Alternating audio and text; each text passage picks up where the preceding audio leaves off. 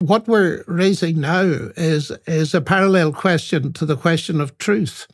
It's the question of the existence of the concepts of right and wrong and defining them.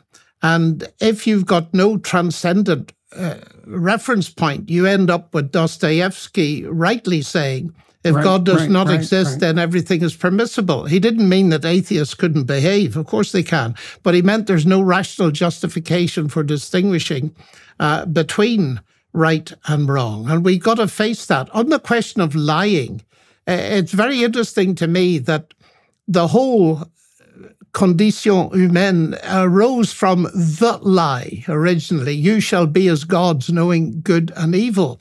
And you were talking about people thinking, why shouldn't I lie, and so on.